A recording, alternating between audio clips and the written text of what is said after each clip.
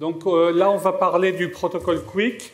Donc ça va être un, c'est plutôt accès technique. Hein. donc euh, ça, il y a plein de choses bien, Capitole de Libre. On entend plein de choses. Il y a plein de choses en parallèle qui sont très intéressantes. Celui-là, c'est plutôt pour les gens qui s'intéressent à la technique, au protocole réseau et à ce genre de choses. Donc, hop, un petit, petit peu de révision avec le modèle en couche. Alors, le modèle en couche, le gros intérêt, c'est pour les profs, parce que ça fournit un plan pour le cours tout fait. Mais autrement, il ne faut pas le prendre trop au sérieux. Hein. Les réseaux réels ne fonctionnent pas forcément comme ça. Mais c'est pas mal pour aider, outre pour aider le prof à faire son cours, le modèle en couche, c'est pas trop mal pour euh, aider à comprendre certains problèmes. Là, voilà une représentation classique du modèle de fonctionnement de l'Internet. On n'a pas mis la couche physique en dessous, on l'a laissé tomber. On est dans le virtuel, on est dans le cloud, euh, on est dans le serverless, donc il n'y a pas de couche physique. Euh, la couche liaison de données, bon, bah, c'est Ethernet et des choses comme ça. La couche Internet, c'est IP. Et ces deux premières couches, elles ont en commun de ne faire qu'une partie du trajet. Quand vous regardez un site web qui est situé euh, en Colombie ou au Vietnam, vous n'avez pas une liaison euh, ni physique, ni même euh, euh, IP de bout en bout. Vous parlez, chaque routeur parle au routeur suivant. La première couche qui est réellement de bout en bout, c'est-à-dire qui fait communiquer deux machines, c'est la couche transport. Et c'est elle qui va nous intéresser aujourd'hui. C'est pour ça qu'elle est mise en gros. Au-dessus, il y a la couche application, les trucs utiles. En fait, il faudrait même séparer la couche application en deux les, bibliothèques et les logiciels pour utilisateur final. Souvent, vous allez m'entendre dire des trucs du genre euh, les programmeurs qui écrivent des applications, ils parlent à TCP. Ils parlent rarement directement à TCP. En général, ils utilisent plutôt une bibliothèque toute faite qui, derrière, parle à TCP. Mais du point de vue du modèle en couche, tout ça, c'est la couche application. Donc nous, aujourd'hui, on va se focaliser sur la couche transport, qui est donc la première couche vraiment de bout en bout, c'est-à-dire qui permet à une machine de parler directement à une autre machine. Et normalement, tous les intermédiaires, normalement, se contentent de relayer les données. Ils ne participent pas, normalement, à cette couche transport. On verra que ce n'est pas vrai et que c'est une des motivations pour Quick, justement. Donc, qu'est-ce que ça fait, une couche transport? C'est quoi son boulot dans la vie? Ben, D'abord, c'est de dissimuler aux applications euh, les particularités du réseau. Qu'est-ce qu'il y a de particulier dans la couche euh, réseau, dans la couche Internet? Ben, Par exemple, on peut perdre des paquets. Quand les fils d'entrée-sortie d'un routeur sont pleines, euh, le routeur jette les paquets. Et puis il peut y avoir un rayon cosmique qui passe à un moment donné et qui, boum, dégomme un paquet. Euh, ça peut même être plus rigolo que ça dans l'Internet. Deux paquets d'une même session peuvent prendre des routes différentes et l'un peut arriver avant l'autre, euh, tout en étant parti après. Donc ils peuvent ne pas arriver dans l'ordre. Donc imaginez si vous programmiez une application de transfert de fichiers et que vous ayez à tenir compte du fait qu'un bout du fichier n'arrive pas ou que euh, des blocs du fichier soient réordonnancés. Ça serait évidemment l'enfer. Donc pour euh, simplifier la vie des programmeurs d'application, la couche transport est chargée de corriger les fantaisies du réseau, demander la réémission des paquets perdus et euh, remettre dans l'ordre les paquets, ce qui implique de les numéroter quelque part pour qu'on puisse les remettre dans l'ordre correct. Alors réémettre les paquets perdus, c'est comme ça, ça a l'air simple. Euh, ouais, euh, le paquet n'arrive pas, allez hop, tout de suite je réémets. Sauf que si on fait ça avec trop d'enthousiasme, on peut finir par étouffer le récepteur. On peut dire, ah, si un paquet, si j'ai pas un accusé de réception du paquet dans la microseconde qui suit, je réémets le paquet. Et puis pour être sûr, je le réémets trois fois de suite, comme ça je suis sûr qu'il arrive. Ça, ça marcherait, c'est-à-dire que les paquets arriveraient bien, mais il y a un risque d'étouffer le récepteur, surtout si c'est une grosse machine qui parle à une plus lente. Euh, on pourrait se retrouver dans la situation où le récepteur n'arriverait plus à traiter tous les paquets qu'on envoie. Donc ça, c'est aussi un travail de la couche transport, c'est de s'assurer qu'on n'envoie pas des paquets plus vite que le récepteur ne pourrait les traiter. Si le récepteur dit « Ouh là là, des tout petits buffers, des tout petits tampons d'entrée-sortie, je peux traiter un kilooctet à la fois, pas plus », il ne faut pas lui envoyer un méga dans la figure d'un seul coup.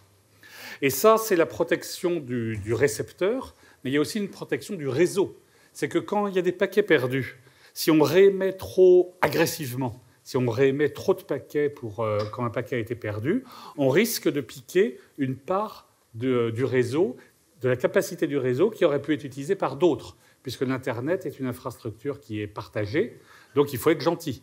Si chacun euh, ne pense qu'à son intérêt personnel et égoïste, le réseau ne fonctionne plus. Donc le réseau qui est surchargé, ça s'appelle la congestion. La congestion, c'est quand il y a trop de paquets et que le réseau n'arrive même plus à assurer ses fonctions de base. Donc euh, les paquets sont jetés, les sessions time-out, c'est l'enfer. Donc normalement, une tâche importante de la couche transport, c'est d'éviter la congestion. Et comme l'Internet, vous savez, c'est un monde de bisounours où toutes les licornes sont gentilles et s'aiment, ça dépend de l'activité de chacun. Ce n'est pas le réseau lui-même qui se protège contre la congestion. C'est aux extrémités, c'est-à-dire aux deux machines qui communiquent, de faire en sorte d'éviter la congestion. Et ça marche uniquement parce que sur Internet, il n'y a que des gens gentils, il n'y a que des logiciels bien écrits, euh, il n'y a pas de problème. C'est un paradoxe rigolo de l'Internet qu'on pourrait faire des couches transport égoïstes qui essayeraient d'occuper une part trop grande de la capacité du réseau, et qu'en pratique, ça ne se fait pas. C'est assez miraculeux, parce que normalement, l'égoïsme individuel devrait mener à ce que ça arrive. On constate qu'en pratique, ça n'arrive pas, pour différentes raisons, entre autres la pression sociale. Ainsi, euh, je sais pas, Microsoft, je vais dire du mal de Microsoft, je pense qu'à Capitole du Libre, il ne prend pas trop de risques en disant ça, tout le monde sera d'accord avec moi. Si Microsoft sortait une version de Windows qui euh, réémette les paquets plus agressivement que la norme et qui occupe donc une part plus importante de la capacité du réseau, tout le monde leur tomberait dessus. Donc voilà ce que fait la couche transport. C'est le boulot de toutes les couches transport. Il y a aussi quelques autres détails que je n'ai pas marqués ici, hein, mais ça c'est le boulot vraiment crucial de la couche transport parce que la santé de l'Internet en dépend. Et puis la santé mentale des programmeurs d'application aussi. Hein. Le programmeur d'application, il veut que quand il fait un write ou un send ou un n'importe quoi de ce genre, s'il envoie un kilo-octet, il veut que ce kilo-octet arrive et que les octets soient dans le même ordre qu'au départ. Donc ça, c'est ce que fait TCP. Aujourd'hui, la principale couche transport euh, sur l'Internet, c'est TCP, Transmission Control Protocol. C'est le protocole de loin le plus répandu. Ce n'est pas le seul, parce que reprenez le modèle en couche. Le seul truc qui a besoin d'être standard sur tout l'Internet, c'est la couche réseau, qui s'appelle d'ailleurs Internet, IP, Internet Protocol. C'est la seule qui a besoin d'être la même dans tout l'Internet. Après, quand deux machines veulent communiquer, quand ces deux machines adultes et consentantes, elles peuvent utiliser le protocole de transport qu'elles veulent, du moment qu'elles n'écroulent pas l'Internet entre les deux. Donc, en théorie, j'ai bien dit en théorie, L'Internet est pair à pair et euh, fonctionne sur un système de bout en bout et sans permission, c'est-à-dire que deux machines, si par exemple vous êtes étudiant, vous inventez un protocole de transport super génial, mieux que tous les autres, vous le mettez en œuvre dans deux machines, vous patchez le noyau Linux ou OpenBSD selon votre niveau de masochisme, euh, et une fois que c'est ça, les deux machines communiquent et s'envoient des données en suivant votre protocole de transport. Ceci dit, la plupart des gens, ils font pas ça. La plupart des gens, ils utilisent un protocole de transport existant qui est fourni dans leur système. Et sur Internet, c'est en général TCP. Alors, ça a l'air comme ça tout con, hein, les tâches d'une couche transport, mais c'est super compliqué. TCP, c'est vraiment un truc compliqué. Vous lisez le code source de Linux, par exemple, la partie TCP, vous allez sérieusement euh, avoir mal à la tête à la fin. Mais il y a eu des dizaines d'années d'efforts qui ont été passés pour améliorer TCP. Donc aujourd'hui, c'est un énorme succès puisqu'on voit que TCP aujourd'hui, c'est la plupart des échanges sur Internet. Que vous envoyiez des documents Word euh, avec euh, des contrats dedans euh, pour plusieurs millions d'euros, ou bien que vous regardiez des vidéos de chats, ou bien que vous faisiez du jeu en ligne ou des choses comme ça, il y a de fortes chances que vous passiez sur TCP. Idem si vous partagez de la culture, euh, des fichiers MP3, des trucs comme ça. Ça passera aussi en général sur TCP. Et TCP fonctionne dans des cas très différents. Aussi bien les énormes transferts de fichiers que font les gens qui sont dans la physique des particules, par exemple, que les petits échanges avec des petites machines rikiki et pas beaucoup de mémoire. Ça utilise TCP qui s'adapte donc à des cas très différents. De même, TCP s'adapte à des cas où on est à l'intérieur d'un data center, tout fibre optique, 100 euh, gigabits par seconde, aussi bien que sur des liaisons pourries, euh, passant par de la radio, avec un paquet sur 10 qui se perd, voire davantage. Donc TCP, c'est vraiment génial, c'est vraiment un succès. En même temps, bah, il n'y a rien de parfait dans ce monde, rien n'est jamais complètement un succès. Donc TCP a quelques limites. Déjà, aujourd'hui, l'Internet, c'est le web pour beaucoup de gens. Et le web, qu'est-ce qu'il y a dans le web? Il y a des pages web avec dedans plein d'objets, des images, des vidéos, euh, du JavaScript, du CSS, 50 euh, ou 100 trackers publicitaires pour savoir ce que vous êtes en train de faire. Donc quand vous chargez juste une page, vous avez en fait besoin de plein d'objets. Qui vont être chargés en même temps. Puis ce code JavaScript, il va faire plein de requêtes un peu partout, à plein de gens en serverless. Donc vous allez avoir plein de euh, trucs à récupérer. Et ça, TCP est pas très bien adapté pour ce genre de choses parce que par exemple, si vous mettez toutes ces, toutes ces requêtes pour les images JavaScript CSS dans la même connexion TCP, le problème, c'est que si un des objets qui est plus long à récupérer ou plus lent à fabriquer, il va bloquer les autres. Par exemple, entre une image et un CSS, l'image est plus grosse. Si vous demandez l'image d'abord, elle va bloquer le CSS. Ça serait bien qu'on préférerait qu'ils viennent en parallèle sans qu'on ait à penser à mettre le CSS d'abord. Puis le client souvent ne sait pas qu'est-ce qui va prendre le plus de temps. Il peut y avoir du contenu qui est généré dynamiquement en faisant appel à du code PHP ou Java ou n'importe quoi en face. Et on ne sait pas à l'avance qu'est-ce qui va prendre le plus de temps, donc on ne peut pas mettre les requêtes dans l'ordre du plus rapide au plus lent. Donc ça, ce phénomène s'appelle le head-of-line blocking, et c'est le phénomène que dans une file, quand il y a une file d'attente unique, rappelez-vous que TCP, il remet les données dans l'ordre, donc il vous garantit que tout arrive dans le même ordre. Mais pour ça, vous avez une file d'attente unique. Quand vous avez une file d'attente unique à un guichet, si vous, vous avez un problème qui peut se régler en 10 secondes et que devant vous, vous avez quelqu'un où son problème prend un quart d'heure au guichet, vous allez être bloqué un quart d'heure et vous allez vous énerver. Ce qui est mauvais pour le lien social et l'harmonie de la société. Donc ça, le head offline blocking, c'est agaçant. Vous allez me dire, mais il suffit de faire une connexion TCP par objet. Ça pose d'autres problèmes. Alors d'abord, il y a une autre solution. Le protocole HTTP 2, la version 2 de HTTP, multiplexe sur une même connexion TCP plusieurs ruisseaux, streams, et dans ces conditions, les différents euh, ruisseaux peuvent gérer des objets différents et n'arrivent pas au même moment. À propos de ruisseaux, c'est ma traduction de Streams, euh, la librairie Les Petits Ruisseaux euh, est à l'étage au-dessus et propose plein de bouquins intéressants, dont la BD sous licence libre Pepper et Carotte, et que l'auteur dédicace en ce moment. Vous pressez pas, ne quittez pas la salle tout de suite, il ne part pas tout de suite. Donc, si on utilise ces ruisseaux de HTTP2 sur une connexion TCP, on a résolu une partie du problème. Le client HTTP peut faire toutes ses demandes en parallèle et un ruisseau ne bloquera pas les autres. Sauf que si vous avez un paquet IP qui est perdu, du point de vue de TCP, lui, TCP, il ne connaît pas ce que fait HTTP2 au-dessus. Donc, un paquet IP est perdu, TCP ralentit en disant « Ouh là là, ça doit vouloir dire qu'il y a de la congestion. Je vais pas. S'il y a de la congestion, la dernière chose à faire, c'est de renvoyer des paquets, évidemment, parce que ça ne ferait qu'aggraver le problème. Donc, au contraire, je ralentis mon rythme d'envoi. Donc, s'il y a un paquet qui est perdu, tout le monde, tous les ruisseaux qui sont dans la même connexion HTTP2 vont attendre. Un autre cas de head-of-line blocking, une autre variante du fait que tout le monde a son sort qui est lié, même quand il n'y a pas de raison euh, objective de faire ça. Donc, HTTP2 améliore un peu les choses, mais ne les résout pas complètement. Alors, euh, autre solution, de faire une connexion TCP par objet. Alors ça, en général, c'est considéré comme très vilain. Pourquoi c'est considéré comme vilain? J'avais dit que le réseau, euh, on essaye de faire en sorte que tout le monde ait une juste part de la capacité. Si vous avez un lien de 1 gigabit par seconde et qu'il y a 1000 utilisateurs, chacun doit avoir à peu près un mégabit par seconde s'il essaye de s'en servir. Ça, c'est la situation idéale. Typiquement, c'est géré par TCP. Donc, ça veut dire qu'une façon simple de contourner ce partage égalitaire, c'est ah ben, moi je suis un port et un gougnafier, moi je vais ouvrir euh, plein de connexions TCP.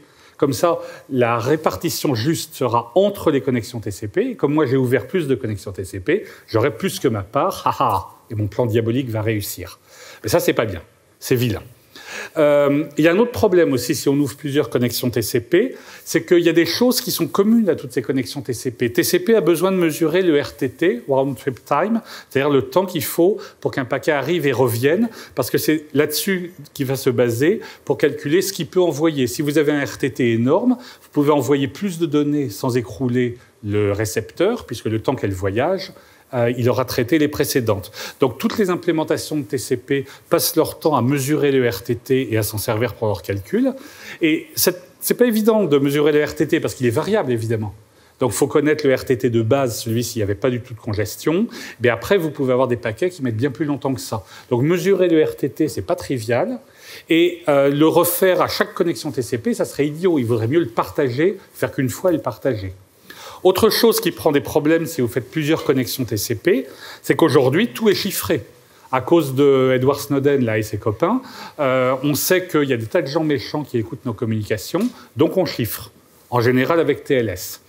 Et le problème dans ce cas-là, c'est que si vous faites N connexions TCP, vous allez devoir ouvrir N connexions TLS par-dessus, et TLS, c'est lourd. Il y a une négociation crypto, déjà, il faut attendre que TCP est terminé. Une fois que TCP s'est connecté, TLS se met en route, on fait la négociation crypto, on envoie le certificat, tout ça pour chaque connexion.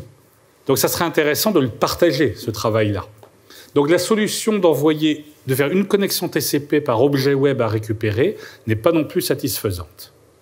Voilà, là normalement je vous ai expliqué tout ce qui ne va pas. Et après, bah, comme dans tous les exposés, on explique une situation tragique. Et puis après, il y a la lumière qui descend et il y a une solution géniale qui va résoudre tous les problèmes. Dans notre cas, c'est Quick. Ah oui, puis l'autre problème de, TLS, c'est que TLS se déclenche quand TCP s'est ouvert, parce que TLS a besoin lui-même du canal que fournit TCP. Ça veut donc dire que vous devez d'abord établir la connexion TCP. Ça prend combien de paquets pour établir une connexion TCP Trois. Hein. La, la, triple poignée de main. Je veux me connecter. Ah, tu veux te connecter? Je suis d'accord. Ben moi, je suis d'accord avec ton accord.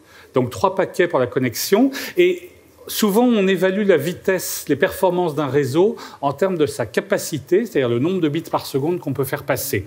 Ça, c'est utile quand vous transférez d'énormes fichiers ou c'est utile pour la vidéo. Mais pour beaucoup d'applications dans le web, ce qui est plutôt intéressant, c'est pas le nombre de bits par seconde qu'on peut faire passer, c'est la latence, c'est-à-dire le temps qu'il faut pour y aller. Rappelez-vous qu'à cause de la finitude de la vitesse de la lumière et à quelques autres problèmes, la latence est souvent le facteur dominant dans le temps de réponse, c'est-à-dire le moment entre votre clic et l'affichage de la page web. Donc on cherche à réduire la latence le plus possible. Pour le web, c'est vraiment crucial. Et si vous devez d'abord ouvrir la session TCP, ensuite faire pareil avec TLS, qui nécessite un nouvel échange de données, ça va être pénible. Donc ça, c'est les limites de TCP telles qu'elles sont perçues aujourd'hui. Je répète, c'est pas une critique de TCP. Hein. TCP, c'est un énorme succès, je l'ai dit, c'est vraiment un truc génial. Euh, on pourrait passer, on pourrait écrire des bouquins entiers là-dessus. D'ailleurs, ça a été fait.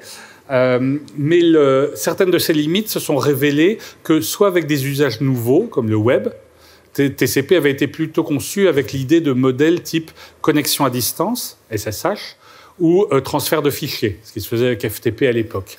Le modèle du web aujourd'hui colle mal avec ça. Et puis il y a eu des nouvelles exigences. TLS a été rajouté après, parce qu'au début on envoyait tout en clair. Quand on s'est mis à chiffrer, on s'est aperçu que ça posait des problèmes.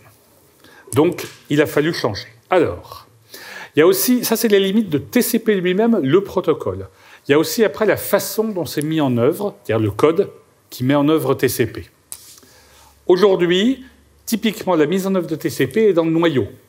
Ne regardez pas le code source de curl ou Firefox pour espérer y trouver les algorithmes de TCP. Ils sont dans le noyau Linux, Windows, euh, macOS, etc. C'est pas obligatoire.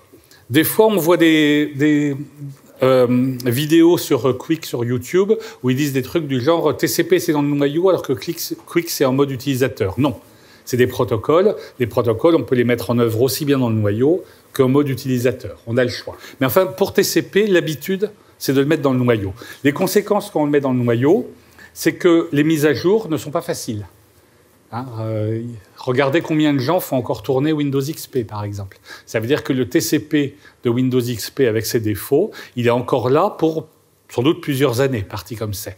Idem pour les objets connectés, où les mises à jour sont encore plus rares. Donc, l'idée serait, euh, ce que disent beaucoup de gens, c'est que ça serait cool de remonter l'implémentation de la couche transport dans l'application pour pouvoir faire des mises à jour plus faciles, pour avoir plus d'agilité. Je crois que le mot-clé, c'est agilité aujourd'hui. Ce n'est pas uniquement un problème technique. Hein. Ce n'est pas uniquement un problème technique, c'est aussi un problème politique. Par exemple, imaginons que vous soyez Monsieur Google et que vous fassiez tourner votre navigateur sur un système d'exploitation dont le nom commence par W. Ben, votre navigateur, il est dépendant de ce que fournit le système d'exploitation. Il est dépendant de son implémentation de TCP. C'est bien agaçant si vous trouvez des, des, cas où cette implémentation de TCP n'est pas géniale, de devoir attendre que l'utilisateur ait migré vers une nouvelle version de Windows. Et quand vous êtes Google, en plus, vous êtes sûr que vous pouvez faire mieux que Microsoft. Donc c'est embêtant d'être dépendant d'un système qui n'est pas l'idéal. Donc comme souvent, derrière des questions techniques, il y a en fait de la politique qui est derrière. Hein. Ici, il y a une lutte de pouvoir. Bon, sur Android, c'est plus simple parce que Google fait les deux. Mais euh, sur un système comme Windows, euh, il y a un problème, c'est que globalement, et c'est un des points de départ de Quick, c'est que Google était fâché contre Microsoft et trouvait que euh, Windows ne fournissait pas les services dont Google Chrome avait besoin. Donc quand Google fâchait, Google faire quoi? Ben, Google trouvait une solution technique. Il y a un autre problème aussi, qui est un problème qui est aussi bien pour TCP que pour Quick cette fois. C'est un problème général de l'Internet. C'est que j'avais dit que la couche transport, c'était la première couche vraiment de bout en bout. C'est-à-dire que Alice écrit à Bob, Alice fabrique un paquet IP, l'envoie à Bob. Sur le trajet, il y a des routeurs qui passent le paquet sans le modifier. Vous, avec des modifications minimes, le champ time to live en IPv4 et euh, count en IPv6, il est modifié par chaque routeur, mais ce n'est pas très important. L'important, c'est que le reste du paquet n'est pas touché, notamment tout ce qui est au-dessus, toute la couche transport n'est pas touchée par des routeurs. Donc Alice peut envoyer à Bob un paquet qui, du moment que c'est de l'IP, tout ce qui est au-dessus, y compris la couche transport, arrivera intact à l'autre bout. Ça, c'est la théorie. La réalité est très différente. La réalité, c'est que l'Internet est truffé de middle box.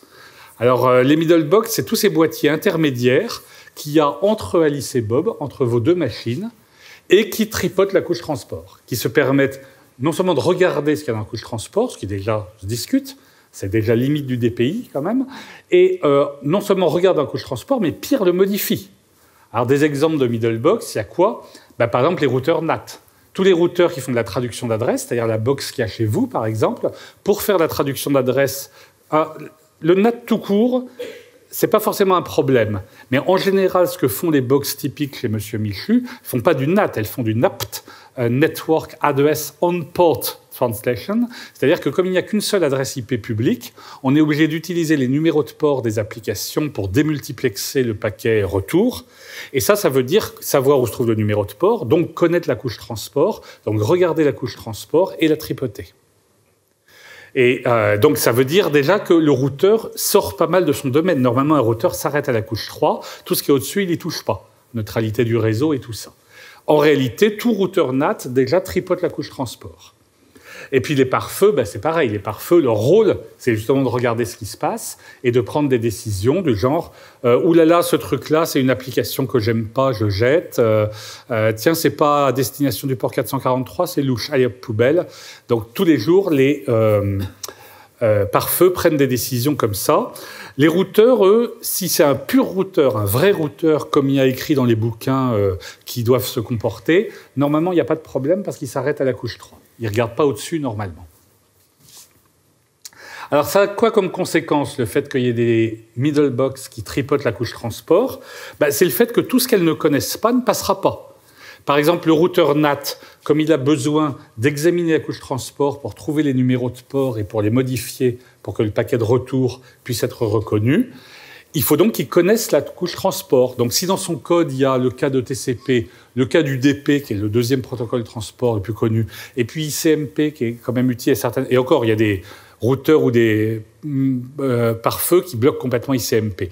Mais dans le meilleur des cas, il laisse passer TCP, UDP, ICMP, et le reste, ils connaissent pas. Donc quand j'avais dit, par exemple, que Internet permettait à un inventeur d'inventer un nouveau protocole de transport, de le mettre en œuvre dans ses machines, et youpi, et ça fonctionne, et si ça marche, ça va être un succès, tout le monde va l'adopter, c'est une vision idéalisée. Dans la réalité, ça ne se passera pas bien, parce que probablement l'une des deux parties sera derrière un routeur, par exemple NAT, qui va euh, bloquer ce protocole de transport inconnu, en disant c'est quoi ce truc? C'est encore pire pour les pare-feux, puisque la, la, mentalité typique d'un pare-feu, c'est tout ce que je ne connais pas, c'est suspect. C'est-à-dire je laisse passer ça, ça, et tout le reste, je le bloque. Ça veut donc dire que c'est très difficile de faire passer un autre protocole de transport, voire pire, c'est même très difficile de faire passer des options nouvelles d'un protocole existant. Le cas typique, c'est TCP. Euh, J'avais parlé du problème de l'établissement de la latence. Euh, avec TCP, il y a trois paquets à échanger et on ne peut pas envoyer même un octet de données tant qu'on n'a pas échangé ces trois paquets. Pour le web, où la requête est souvent très courte, get slash toto.html, elle tient en quelques octets, c'est un peu pénible de devoir attendre cet établissement de connexion qui, sur des réseaux à longue distance, peut prendre beaucoup de temps pour envoyer ces données. Donc il y a une option qui a été créée il y a plusieurs années maintenant, il y a 7 ou 8 ans, qui s'appelle TCP Fast Open, qui permet d'éviter ça en envoyant les données, donc la requête, dans le cas d'HTTP, la requête get slash toto.html, de l'envoyer dès le premier paquet, le paquet SYN, le premier paquet de demande de connexion. Et cette option, on constate que des années après, ça ne fonctionne toujours pas parce que tout un tas de middlebox bloquent ce qu'elles ne connaissent pas, et notamment bloquent les options TCP en disant Ah non, nouvelle option, donc je bloque. Ça, c'est un phénomène qu'on appelle l'ossification de l'Internet. Et cette ossification est un des gros, gros problèmes de l'Internet. C'est le fait que les trucs nouveaux ont peu de chances de passer. Une nouvelle option TCP, il y a eu un tas de propositions hein, pour faire des options de TCP nouvelles, elles ne passent pas. Un nouveau protocole de transport, il ne passe pas non plus. Donc ça rend très difficile de faire évoluer l'Internet. Il y a les inconvénients ou les limites de TCP que j'ai parlé, dont j'ai parlé sont bien connus. Pourquoi on ne les résout pas? Ben, Une des raisons pour lesquelles on ne les résout pas facilement, c'est que les options ont du mal à passer. Concrètement, ça veut dire que si vous voulez faire un nouveau protocole de transport, vous allez être obligé de tricher et de l'encapsuler dans UDP pour que la middle box croie que c'est de l'UDP. C'est par exemple ce qu'a fait un autre concurrent de TCP qui s'appelle SCTP, qui est un truc très ancien, hein. il a de bien avoir 20 ans au moins, SCTP. Il est mis en œuvre dans Linux, dans les BSD, dans tous les systèmes sérieux. Euh, c'est-à-dire pas Windows. Euh, et SCTP, il est très bien, il résout pas mal des problèmes de TCP. Cependant, ce qu'on a constaté, c'est que autant en data center où vous contrôlez tout, dans votre data center, c'est tranquille, ça fonctionne. Mais dès que vous essayez de le faire dans le grand Internet, chez Monsieur Michu qui est coincé derrière sa box, des choses comme ça, ben, SCTP ne passe plus parce que le routeur NAT, il connaît pas, donc il bloque. Donc la solution qui a été normalisée dans le RFC 6951, c'est de faire passer SCTP sur UDP. les middle box vont avoir l'impression que c'est de l'UDP, mais en fait les deux machines vont parler SCTP dessus. Vous allez vous rajouter de l'encapsulation pour rien, c'est un gâchis, c'est un peu bête, mais c'est la seule solution réaliste si on veut que ça soit déployé dans l'Internet en général. Hein, je répète, à l'intérieur d'un data center que vous contrôlez, ça va, hein. il n'y a pas de problème, vous faites ce que vous voulez. Mais si on veut que ça soit déployé un peu partout dans Internet, aujourd'hui en pratique, euh, il faut que ça soit du TCP ou de l'UDP. Ce qui nous amène à Quick. C'est long comme introduction. Hein. J'ai déjà passé presque tout mon temps. Bon, on va dire que l'introduction était suffisamment intéressante, donc on va arrêter là. Quick. Alors Quick, à l'origine, ça voulait d'ailleurs, son nom était dérivé du DP, mais en fait c'était une idée stupide, donc on a arrêté. Aujourd'hui, ça s'appelle juste Quick et on n'utilise plus le développer. Donc le point important de Quick, si on veut faire un pitch en une phrase sur Quick, c'est que Quick est un protocole de transport concurrent de TCP. Concurrent de TCP, parce que l'Internet, la seule chose qui a besoin d'être commune à tout le monde, c'est la couche réseau, IP, le reste, c'est la concurrence libre et non faussée, chacun fait comme il veut, le libéralisme et tout ça. Donc Quick est un concurrent de TCP. Des fois, je l'ai vu décrit comme euh, CHTTP sur UDP, ça n'est pas une bonne description.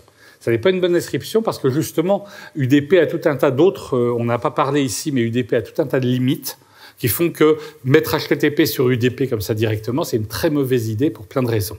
C'est pas ça que fait Quick. Quick est un protocole de transport concurrent et pour arriver à passer les middle box, il utilise UDP. Mais autrement, il n'a rien à voir avec UDP. C'est juste UDP euh, pour tromper les middle box. C'est sa seule utilisation. Donc, comme protocole de transport concurrent de TCP, ben, il fait à peu près la même chose que TCP au sens où il rend les mêmes services. C'est-à-dire, un peu authentifier l'adresse IP source. Vous savez que dans IP, il n'y a aucune authentification d'adresse IP source. Alice qui envoie un paquet à Bob, elle peut mettre comme adresse IP source n'importe quoi et ça passe dans la plupart des cas. TCP et Quick ont des techniques pour vérifier que le type avec qui on cause reçoit bien nos paquets, donc il n'a pas triché sur l'adresse IP source. Retransmission des paquets perdus, évidemment, ça c'est crucial. Contrôle de congestion, c'est-à-dire ne pas être un goret, ne pas noyer ni le récepteur ni le réseau. Donc les services que rend Quick aux applications sont les mêmes que ceux de TCP avec quelques trucs en plus. Donc comment il fait ça pour euh, comment Quick arrive à faire tout ça? Donc comme HTTP2, il y a l'idée qu'on découpe une connexion entre plusieurs ruisseaux, plusieurs streams. Donc une connexion Quick, ben, c'est comme une connexion TCP. Hein, ça commence par euh, coucou, je voudrais me connecter avec toi. Puis une réponse ah ouais, je suis vachement d'accord.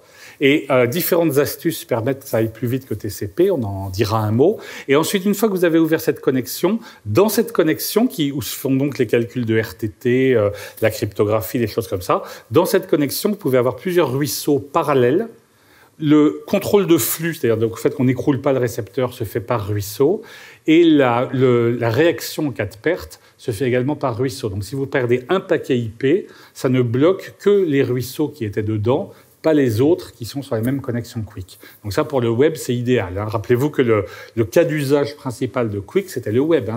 Quick, ça a été inventé par Google, et donc ils pensaient avant tout au web. Donc ceux qui connaissent HTTP2 et qui l'ont utilisé ne seront pas trop surpris, il y a des points euh, communs, sauf que c'est mis au niveau de la couche transport, donc ça peut être utilisé par d'autres applications que HTTP. Et puis, les connexions sont identifiées par un truc qui s'appelle le Connection ID. Alors, dans TCP, les connexions sont autant identifiées pardon, par un tuple, un tuple de cinq éléments protocole, TCP, adresse IP source, port source, adresse destination, port destination. Euh, l'avantage de ça, c'est que c'est euh, implicite dans le paquet, tout est déjà dans le paquet. L'inconvénient, c'est que ça empêche certaines migrations.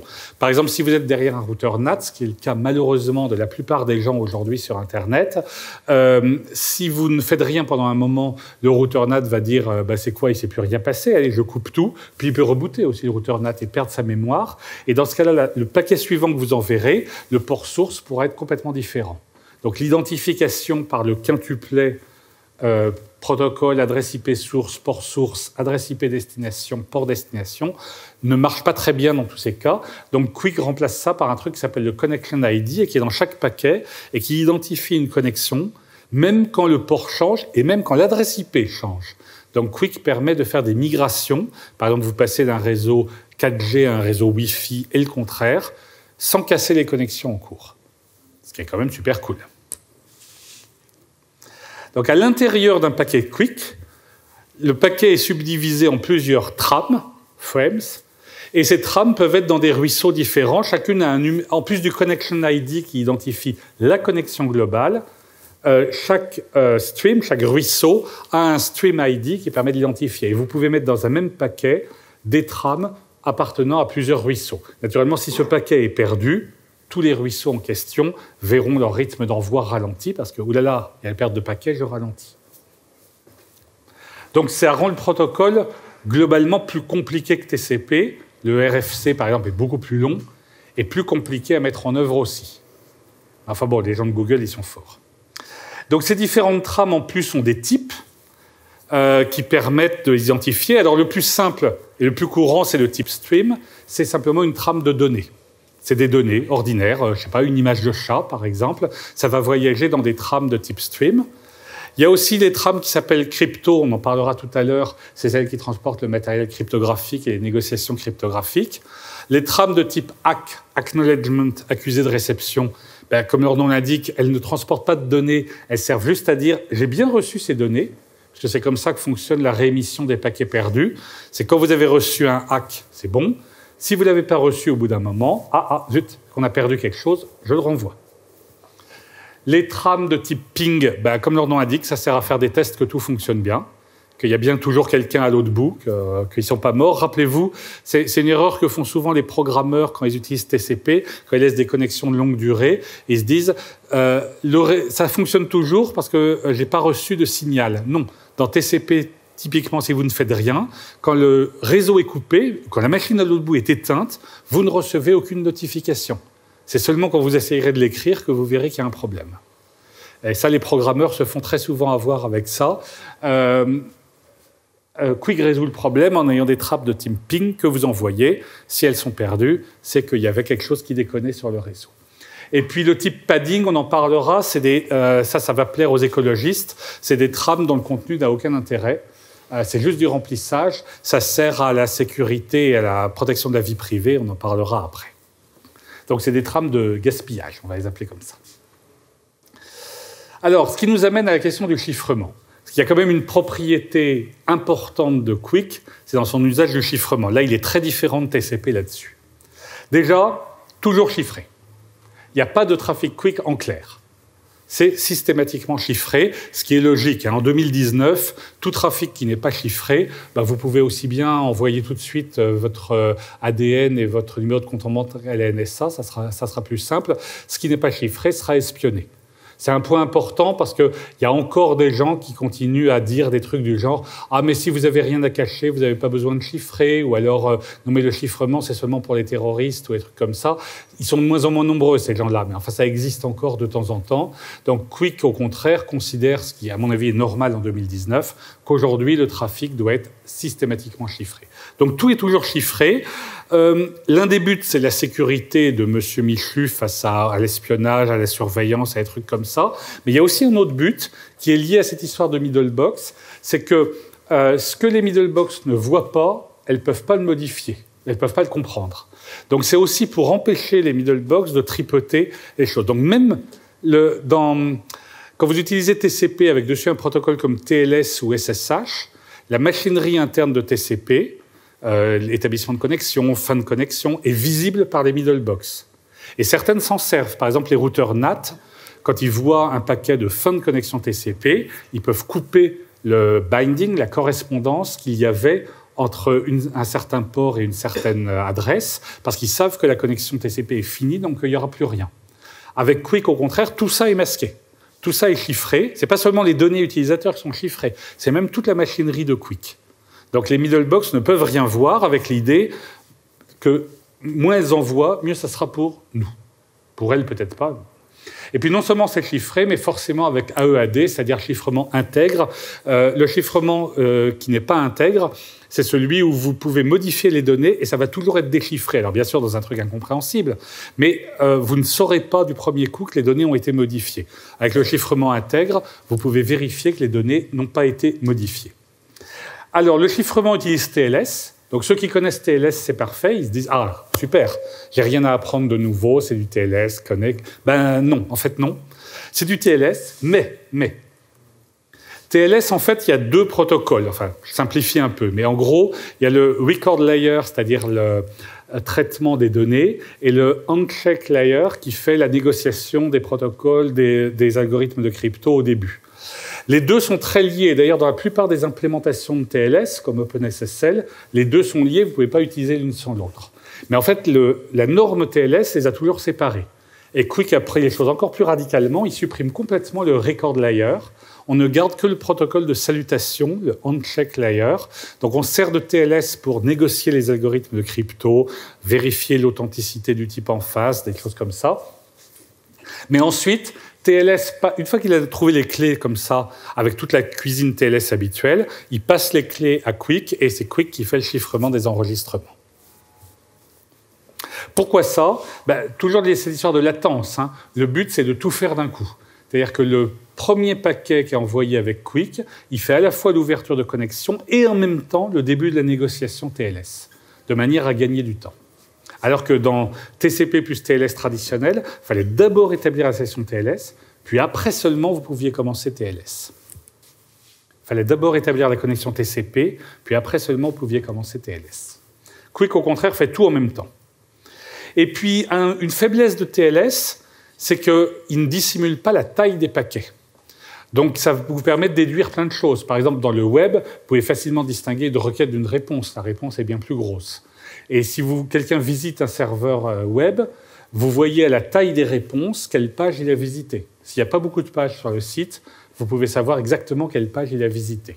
Donc ça, c'est une des faiblesses de TLS du point de vue de la vie privée, c'est que la taille des paquets et aussi l'écart entre les paquets, mais ça, euh, Quick ne change rien à ça, la taille des paquets révèle beaucoup de choses. Donc la solution à ça, c'est le remplissage, padding en anglais, c'est-à-dire qu'on rajoute des données délibérément pour rendre l'analyse des tailles plus compliquée. Pour prendre un cas trivial, imaginez un site web où il y a deux pages, une de 1 kilooctet et une de 3 kilooctets. Quelqu'un qui observerait le trafic, même chiffré, saurait si vous avez demandé la page petite ou la page grande. Si par contre vous utilisez du remplissage pour que toutes les deux aient 3 kilooctets, le type n'y verra rien. Il ne saura pas quelle est la page récupérée. Donc ça, c'est ce que permet Quick. Et ça, c'est un truc important. Alors, ce n'est pas très écologique, c'est sûr. Euh, mais c'est nécessaire aujourd'hui pour la sécurité. Si vous lisez les documentations de logiciels d'interception TLS, comme ceux que produisent des boîtes comme Sandvine ou d'autres, c'est pas du tout secret, hein, c'est dans leur catalogue public. Ils se vantent d'être capables d'analyser les sessions TLS en utilisant notamment la taille des paquets. Donc c'est pour casser ce genre de truc que Quick permet le remplissage. Et alors, la visibilité, j'avais dit que Quick chiffrait même la couche transport. Quand vous utilisez donc du TCP, même si vous chiffrez, le fonctionnement du protocole de transport est visible à toutes les middle box. C'est-à-dire le TCP lui-même n'est pas chiffré. Hein. TLS et SSH travaillent au niveau application. Donc tout TCP reste visible, c'est-à-dire les numéros de séquence sont visibles. Le fait que ça soit un paquet d'établissement de connexion ou de fin de connexion est visible. Le fait que ce soit un paquet reset qui met fin à la connexion, c'est visible aussi. Et ça, c'est embêtant. Il y a un RFC là-dessus, que dont je vous recommande fortement la lecture, le 8546, Wire Image, qui décrit cette notion de vue depuis le réseau. C'est-à-dire ça décrit tout ce que voit un élément du réseau, une middle box, d'une session en cours, qu'on lui a... Alors il y a des choses qui sont obligatoires. Par exemple, le routeur, il voit l'adresse IP de destination. Évidemment, sinon plus rien ne marcherait, il ne saurait pas où envoyer le paquet. Mais il voit en plus des tas de choses qu'il n'était pas censé voir. Par exemple, le routeur n'a pas besoin de savoir si c'est un, paquet d'établissement de connexion TCP ou un paquet normal au cours d'une connexion. Ça n'aide pas le routeur à faire son travail. L'idée derrière le RFC 8546, c'est que plus l'image, plus la vue qu'on donne au réseau est large, et plus d'abord il va être tenté d'en abuser, et ensuite, plus ça sera difficile de faire évoluer le protocole parce que les routeurs, au bout d'un moment, se fixent des idées sur qu'est-ce qui est possible ou pas, et s'adapte spécialement à ça et rejette le reste. Ça contribue à l'ossification. D'autant plus que les gens qui programment les middle box sont très souvent des euh, gens pas très compétents et très pressés par le time to market, c'est-à-dire qu'ils ne lisent pas le RFC. Ils regardent ce qui passe et ils s'adaptent. Par exemple, si tous les paquets TCP qu'ils voient passer n'ont pas d'option, si aucun paquet n'a d'option, ils se disent, oh, ne pensent pas à traiter les options. Et la première fois, on essaie de faire passer des paquets TCP avec option, comme le TCP Fast Open, à ce moment-là, la middle box va queener et rejeter le paquet. Donc le, le coût de tout chiffrer dans Quick, c'est pas uniquement pour que les terroristes puissent travailler tranquillement et qu'on ne puisse pas les surveiller, c'est aussi pour empêcher l'ossification de l'Internet. L'idée, c'est que ce que la middle box ne voit pas, elle risque pas de le tripoter. Et puis la visibilité, elle permet même des attaques actives. Un exemple typique, c'est que par exemple, il y a des fournisseurs d'accès Internet qui, pour casser les trucs qu'ils n'aiment pas comme BitTorrent, génèrent des faux paquets RST, c'est-à-dire reset, fin de session, TCP. Et ça, c'est possible puisque la partie TCP n'est pas chiffrée. Vous avez beau utiliser TLS ou SSH, votre session ne peut pas être déchiffrée, mais par contre, elle peut être cassée en générant des faux paquets RST. Donc Quick résout le problème en chiffrant quasiment tout. Donc vous ne savez pas, quand vous êtes une middle box avec Quick, vous ne savez pas si c'est l'établissement d'une connexion, une nouvelle connexion, la fin d'une connexion existante, des paquets de données ordinaires. Vous ne savez même pas si c'était la même connexion ou pas. il y a des FAI à qui ça va pas plaire quand ils vont s'en rendre compte. Par exemple, ceux qui sont derrière le RFC 8404, qui est un RFC qui décrit les pratiques des FAI en matière de cryptographie et notamment tous les trucs qui regardent pour prendre des décisions en violation de la neutralité du réseau. C'est un RFC assez ambigu. Hein. L'origine au début du RFC, c'est un texte écrit par des FAI disant « Ouin, à cause du chiffrement, on ne peut pas regarder ce que font les utilisateurs, c'est dégueulasse ». Euh, alors ça a suscité beaucoup de discussions à l'IETF et la version finale du RFC est un peu plus modérée en disant ben voilà il y a des FAI qui font ça et le chiffrement l'empêche. Moi, j'ai tendance à dire, bah oui, c'est un peu le but. Mais il y a des gens à qui ça ne plaît pas. Quand on voit actuellement tout le cirque qu'ils font sur Do, DNS sur HTTPS, en disant que Do, ça les empêche de voir les requêtes DNS et de les modifier, euh, bah, je pense qu'ils vont être encore moins contents quand on va déployer Quick. Parce que Quick masque des choses, diminue le wire image, diminue la vue qu'a le réseau. Euh, ça a mené à des débats assez drôles à l'IETF, avec par exemple l'histoire du spin bit. Parce qu'un truc que aussi peuvent voir les middle box, c'est qu'elles peuvent voir le RTT. Puisqu'on a les, paquets avec leur numéro. Enfin, dans TCP, c'est pas les paquets qui sont numérotés, c'est les octets, mais peu importe. On a les, les paquets avec leur numéro et on a les accusés de réception. En observant le délai qu'il y a entre le passage d'un paquet et l'accusé de réception du paquet, on peut en déduire le RTT. Ça peut être intéressant dans certains cas pour le FAI, par exemple pour avoir des idées du trafic, optimiser son réseau, des trucs comme ça. Mais c'est aussi dangereux parce que ça donne des informations sur les sites web qu'on visite, leur distance, par exemple, des choses comme ça. Donc la première idée dans Quick, c'était on ne permettra plus ça, l'observation du RTT. Les FAI ont râlé en disant ben, si on ne peut pas mesurer le RTT, on, pourra, on, perdra un outil d'optimisation du réseau. Donc, création d'un truc qui s'appelle le spin bit, qui est un bit qui est inversé à chaque RTT, qui permet donc aux observateurs de mesurer le RTT, le temps d'aller-retour, la latence. Eh ben, le spin bit, comme son indique, c'est un seul bit. Il y a eu des discussions sans fin à l'IETF là-dessus. Le projet a pris facilement un an de retard à cause d'un seul bit mais un bit particulièrement crucial puisque c'est lui qui va euh, permettre de déterminer le RTT. À la fin, enfin l'état actuel, non, à la fin, on n'a pas encore terminé. L'état actuel, c'est qu'il y a le spin bit, mais il est optionnel. C'est-à-dire que le client, les deux machines euh, qui communiquent, ne sont pas obligées de l'utiliser. Si elles veulent être gentilles avec le réseau, elles le mettent, mais sinon. Donc jusqu'à présent, je n'ai pas parlé d'HTTP, j'ai parlé de Quick comme protocole de transport général. Donc Quick, euh, est très optimisé pour HTTP. Hein. Le, fait de multiplexer les ruisseaux, le fait de chercher à minimiser la latence. Quand vous voulez transférer un gros fichier, la latence de l'établissement de connexion, vous vous en fichez. Ce qui compte, c'est le passage du fichier après. Mais quand vous faites du web, la latence est super importante. Donc beaucoup de décisions dans Quick sont conçues en pensant à HTTP. C'est pas le seul protocole qui peut tourner sur Quick. Vous pouvez faire tourner sur Quick des protocoles qui ont le même genre de caractéristiques, euh, notamment l'importance du multiplexage. Ça peut être le DNS, ça peut être syslog. Euh, par contre, SSH ou IRC, a priori, eux ne, bénéficieraient pas de Quick. Il n'y a aucun intérêt pour eux. Mais pour euh, d'autres protocoles, ça peut être utile. Néanmoins, je ne vous cacherai pas que le truc important, c'est HTTP. Hein. c'est celui-là qui est essentiel. Donc, HTTP sur Quick porte le nom marketing de HTTP 3. C'est surtout du marketing, hein. en fait, c'est du HTTP euh, classique. Notamment, il a la même sémantique qu'HTTP, donc vous y trouverez euh, GET, POST, les entêtes habituelles comme User Agent, etc. C'est du HTTP. Hein.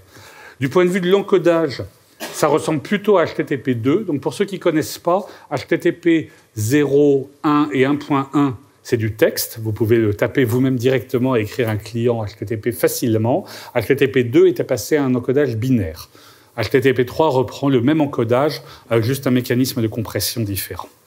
Donc pas d'innovation radicale là-dedans. Le modèle de HTTP, c'est en requête de réponse. Typiquement, on va mettre chaque requête de réponse dans un ruisseau différent, puisque là, par contre, vous avez besoin d'un ordre à l'intérieur d'un ruisseau. Rappelez-vous que Quick garantit que les ruisseaux d'une même connexion, à l'intérieur d'un ruisseau, les octets arriveront dans l'ordre, encore heureux, mais entre ruisseaux, ce n'est pas forcément le cas. Donc, si vous envoyez deux requêtes en même temps sur deux ruisseaux de la même connexion quick, vous ne savez pas laquelle arrivera en premier, c'est qu'a priori, vous vous en fichez. Donc, les trams quick, etc. Et la question, c'est comment on sait Comment le client sait qu'à l'autre bout, ils acceptent de faire du quick? Il y a soit l'entête Alt SVC, qui est la entête HTTP, qui permet de dire Ah ben t'es gentil de me parler, mais tu sais que tu peux aussi me parler en quick. Hein. Retiens-le pour la prochaine fois, ça ira plus vite. Et puis, comme du fait qu'on utilise TLS, il y a un truc dans TLS qui s'appelle ALPN qui permet d'indiquer, quand on se connecte en TLS, quel est le protocole qu'on veut derrière. Après, tout ça est encore un petit peu flou, mais tout ça vient aussi du fait qu'on peut avoir le problème que Quick peut être bloqué, par exemple si quelqu'un bloque complètement UDP, ce qui arrive sur certains réseaux. Donc les clients Quick en pratique doivent savoir se rabattre sur TCP. Alors c'est qui ces clients Quick? Ben, Ça, ça dépend de la normalisation. Donc Quick, j'ai dit, c'était un protocole Google à l'origine et qui est assez ancien. Hein. Les premiers essais sont en 2012. Google a filé le tout à l'IETF pour avoir une version normalisée de Quick. Euh, la principale différence était que dans la version Google, Quick utilisait un protocole de cryptographie AE, qui a été remplacé par TLS, le protocole de cryptographie de l'IETF. Donc les deux Quick sont incompatibles. Hein. et donc euh, Chrome, par exemple, actuellement, a le Quick de Google, euh, n'a pas celui de l'IETF. Et puis aussi dans le Quick de Google, HTTP était lié L'application était liée au transport. Hein. les deux ont été séparés, donc on peut utiliser Quick pour d'autres applications. Les RFC, quand j'ai proposé ce talk à Capitole du Libre, je pensais que les RFC seraient publiés. Je m'étais dit, avec un peu de chance, ils seront publiés la veille de Capitole du Libre et je pourrais les annoncer solennellement. Ben, en fait, on a pris du retard, euh, beaucoup de retard, et donc ce n'est pas, pas publié. Donc, où est-ce qu'on trouve Quick aujourd'hui? Ben, Par exemple, si vous programmez en C, vous avez la bibliothèque NGTCP2, qui est pas mal. si vous programmez en Rust, vous avez Quiche. Alors Quiche, le, début de Quiche, c'est Quick. Hein. C'est Quick High Level Experimentation, quelque chose comme ça. C'est pour les gens qui programment en Rust. Si vous programmez en Python, vous avez IO Quick. Euh, qui est très bien aussi. Donc, euh, rappelez-vous, c'est pas a priori l'idée, c'est de mettre en œuvre Quick plutôt en mode utilisateur que dans le noyau. Donc, on peut parfaitement le faire dans un langage comme Python. Il y a même un malade qui a écrit une implémentation de Quick en JavaScript. Ou Quickly. Euh, le tout est utilisé dans curl, mais attention, hein, c'est une option de compilation de curl. Donc le curl que vous trouvez euh, comme pactage par défaut, même si vous utilisez un système d'exploitation très récent, vous n'aurez pas euh, Quick, il faudra le recompiler avec une option spéciale et c'est un petit peu galère. En conclusion, donc la version Google est largement déployée puisque aussi bien les serveurs de Google que Chrome l'ont. Donc Quick représente déjà une bonne part du trafic de l'Internet. La version IETF, bon ben, j'ai dit on est en retard, ça avance, hein. ça avance, mais on est en retard. Euh, moi, je pense que vu les demandes qu'il y a sur HTTP, le fait que de plus en plus de trucs tournent sur HTTP et que les demandes sont de plus en plus intenses, euh, Quick sera probablement un succès parce qu'il résout bien les problèmes et les limites qu'on a actuellement. Si vous, jamais vous voulez approfondir et que vous, avez peur de lire les... Alors, il y a 7 ou 8 Internet Draft Futur RFC à lire, le plus long faisant 150 pages, et euh, je ne prétends pas qu'il soit très marrant à lire. Heureusement, Daniel Steinberg a fait un livre qui est entièrement disponible en ligne, sous une licence libre même, je crois, euh, qui explique très bien Quick. Pour ceux qui ne connaissent pas, Daniel est l'auteur de Curl, donc il sait de quoi il parle. Et le bouquin explique très bien, beaucoup mieux que les drafts.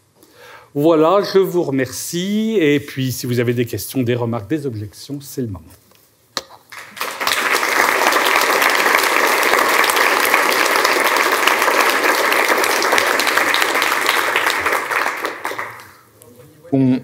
On, se laisse euh, bien cinq minutes de questions et puis après, comme ça, on laisse un petit peu de temps pour chacun euh, retourner dans les salles. Là-bas. Il vaut mieux le micro à cause de l'enregistrement. Alors, euh, au début de la conférence, on a euh, eu euh, la remarque que bah, Quick n'arrivait pas, enfin, à part TCP, UDP, ICMP, on pouvait pas passer grand-chose à travers Inbox. Du coup, on passe au-dessus du DP, mais on gâche un certain nombre d'octets. Est-ce qu'il y a des, pistes pour tenter de faire la même chose que Quick, mais sans passer au-dessus du DP non, parce que la possibilité d'obtenir un rétablissement du modèle de bout en bout, elle est infime il faudrait taper sur tous les hotspots Wi-Fi, tous les réseaux euh, d'entreprise, tous les, euh, toutes les box, passer, que tout le monde passe à IPv6 déjà pour qu'il n'y ait plus besoin du NAT. Enfin, c'est une tâche qui a de quoi faire reculer. Euh, ça serait possible en Corée du Nord en fusillant la moitié des opposants, on devrait pouvoir y arriver. Mais dans un système un peu plus ouvert, il n'y a simplement pas de moyens. au niveau des reverse proxy en HTTPS là, qui font du SNI, est-ce qu'avec Quick, euh, ça continue de marcher ou c'est pas possible avec la visibilité qui est, marché, euh, qui est masquée en fait? Bah, En fait, Quick, c'est juste un protocole entre deux bécanes. Après, ce qui se passe après la bécane avec on parle, on ne sait pas. Elle peut transmettre derrière, elle peut faire des trucs plus ou moins rigolos. Donc, ce qui compte, c'est ce qu'on appelle en TLS la terminaison. La terminaison, c'est-à-dire ceux qui ont les matériaux cryptographiques et qui peuvent déchiffrer. Que après, derrière, ils réétablissent une session, peut-être. Un truc comme le modèle de Cloudflare va continuer à fonctionner. Hein. D'ailleurs, Cloudflare participe à Quick aussi. Donc mais là, on n'est plus dans du bout en bout, justement. On est dans du relais explicite. Bonjour, merci pour la présentation. Est-ce qu'il y a des choses prévues pour la qualité de service euh... plutôt les applications type euh, interaction, audio-vidéo, ce genre de choses? Pas plus que dans HTTP. Parce que le, bon, la qualité de service, c'est un truc. Euh, bon, je vais dire les choses brutalement, hein. c'est bidon et ça n'a aucun intérêt. Parce que le problème de la qualité de service, c'est que tout le monde veut de la qualité de service. Dans un réseau qui est partagé comme l'Internet, si on avait un vrai système de qualité de service, du genre où en faisant un truc dans mes, paquets, je puisse obtenir une meilleure qualité de service, bah, tout le monde le ferait. C'est pour ça que la qualité de service, ça ne peut pas marcher dans un réseau ouvert comme l'Internet. C'est parce que qu'est-ce qui empêcherait tout le monde de l'utiliser?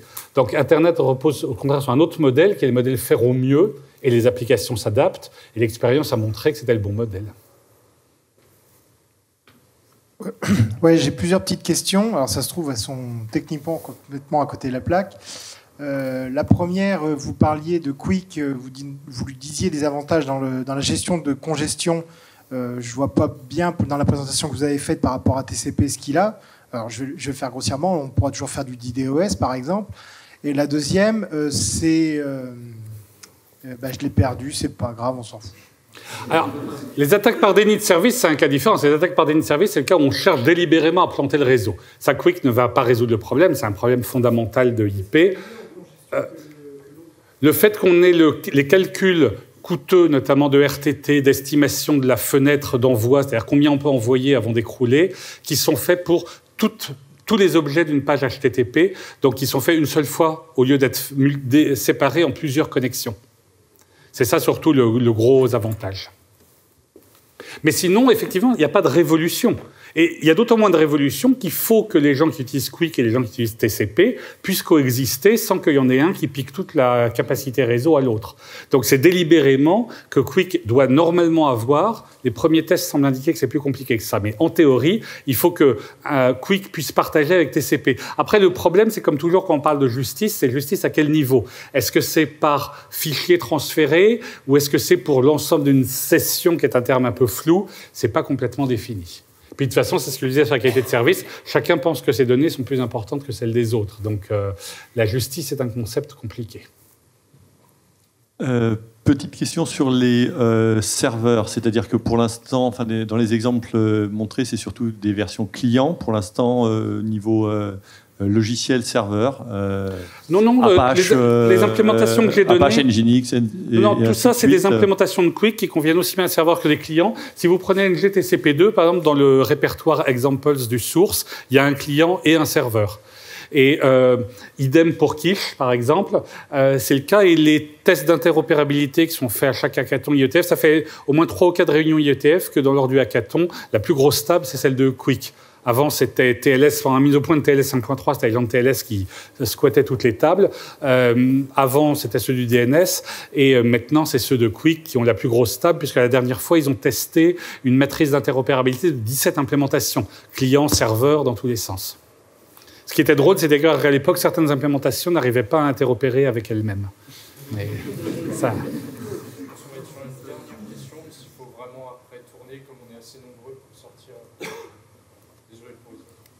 Merci pour la présentation.